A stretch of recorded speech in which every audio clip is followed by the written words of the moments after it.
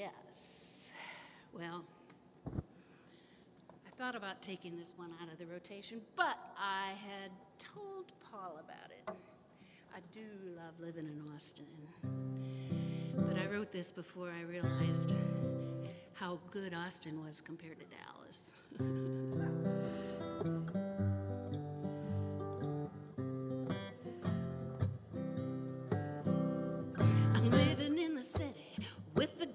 commotion where there's people walking every way you turn. I came to the city when I got the notion, and now I wonder just how I've learned the peaceful country life so free is a lingering memory. Just like the ocean can call one home, the country has been calling me. I'm hearing those roll down the highway on the freeway near the complex I live. There's four lanes of people going all directions, never stopping to see the moment they live. For if they stop, they might be run over by someone far more aggressive than she. Not like the precious moments of pleasure if you stop your car in the country. There's nothing the city lights at night when the air is cool and they shine so brightly. But nature's voice has been calling me to the country.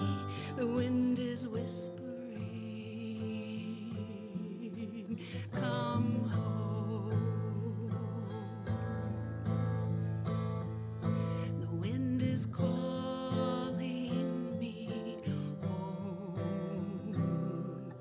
country might not have quite all the opportunity to change, to prosper, and to succeed. So if your success is measured by your money, then the city is the place where you should be. Because the country people can't spend their money unless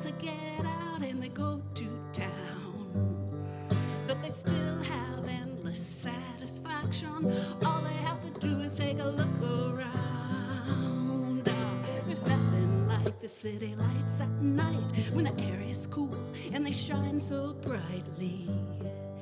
But nature's voice has been calling me to the country. The wind is whispering. Come home. The wind is calling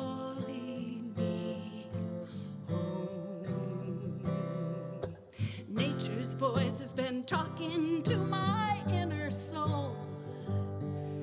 I wonder, will I ever be whole? Living in the city, will I ever